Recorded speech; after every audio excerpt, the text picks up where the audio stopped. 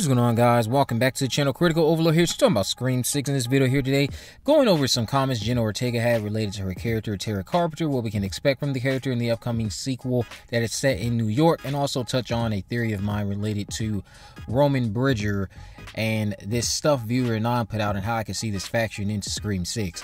But just to touch on Jenna Ortega really quick, Jenna Ortega had an interview recently with Deadline where they were asking like 20 questions or something like that.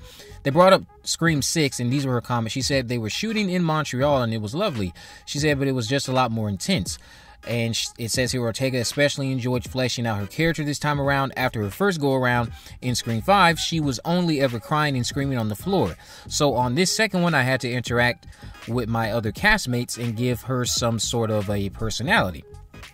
Those comments make me very open or very uh, excited to see what they're going to do with Tara in Scream 6. I know a lot of people, myself included, think that even though the Carpenter sisters' bond was very heartwarming in that fifth movie, Tara definitely was relegated to the sidelines due to, of course, what happened in the opening.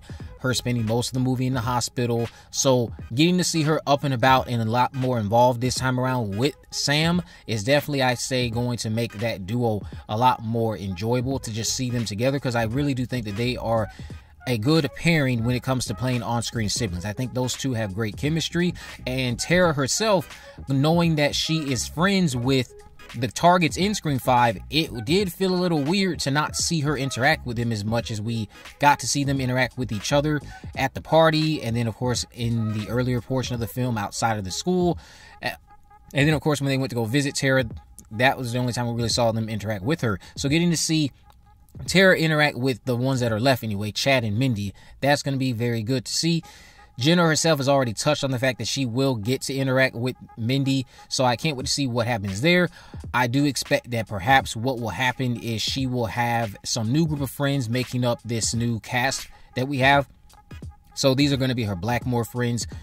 So those people I can see being her Blackmore friends definitely would be Liana Liberato's character and then the character played by Jack Champion. Those two I can see being her college mates at Blackmore and then she has her new friends or her returning friends from Woodsboro and Chad and Mindy and then of course her sister.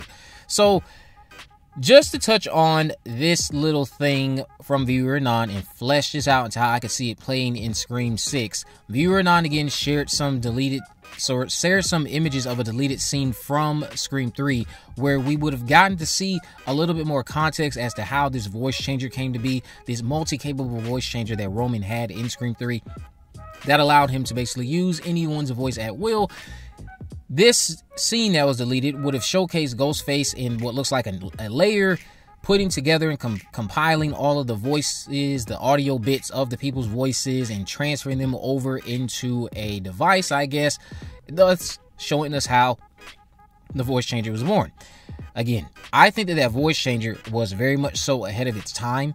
But given the context of the movie and that it's not set in the 2010s, that is why when rewatching Scream 3, that is still a plot device that many people are not in favor of because given the context of what year it's set in, this does not make a lot of sense. However, that was one of the more I would say passable things out of the plethora of others they expected us to believe only one man had done on his own. The voice changer, while I get some people find it to be over the top, I thought it was pretty cool. I also just do not think it was the most effective plot device. I do think that while the, the concept is cool, applying it in this genre, especially this franchise at that time period in 2000, when we're not in the 2010s or even the 2020s like we are now with all these capabilities being a thing, it just came off unrealistic. However, with these things that have been dropping online, there is the uh, discussion about Ghostface using evidence from other killing sprees in the upcoming six movie.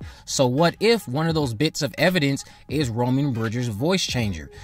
Now more than ever, would be a much more realistic and believable time to have a voice changer like that come into effect or come into play for a person who is trying to go around commit a new spree of Ghostface killings. If you bring that voice changer back, that plot device, I think it will go over a lot well, a lot more better today than it did in 2000. I'm not saying that everyone will be on board with it. I also do know that there are people out there who are against it because of how it was born in bad context.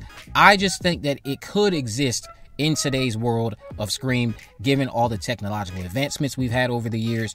And to see it used in Scream 6, I wouldn't be against it. I wouldn't be against seeing Ghostface utilizing this, borrowing Sam's voice, borrowing Tara's voice, borrowing, borrowing Chad and Mindy's voice, borrowing Gale's voice. Of course, borrowing as many voices as you could, it would have to tell you this is somebody who's clearly been in contact with all of these cast members.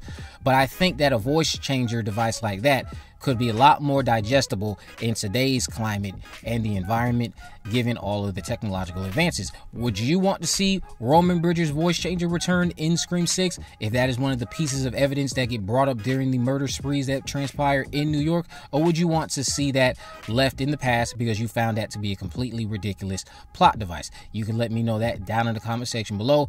I myself personally again think that that, that voice changer had potential. It was just not utilized at the appropriate time. It was unrealistic given the context, and then bringing it back now might just be for some people reliving a nightmare. For me, I'm open to seeing it now because it makes a lot more sense. And you could even poke at how it was so ahead of its time and they could even joke about, well, how did Roman manage to even create this device? How did he create it? We could have discussions about that. Obviously, that would just be in line with what you expect from Scream, poking fun at itself, all of the tongue in cheek stuff that we know this franchise likes to do. You could do stuff like that, where they're just obviously poking fun at the negative criticisms that exist around that third movie related to this device that Roman had. So I think that it could work if they bring it back for a sixth movie. I would like to see, obviously, and here's the other thing since only one of them exists to our knowledge,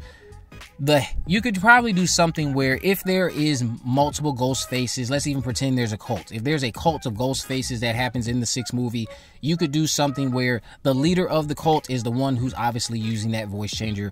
The other ones they're not getting anything like that. They're just using the standard ghost face voice changer however they're doing that.